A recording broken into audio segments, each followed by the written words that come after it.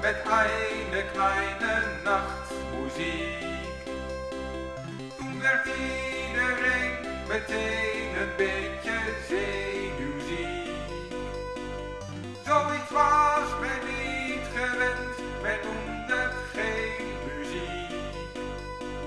Maar jawel, vandaag de dag noemt men het toch klassiek.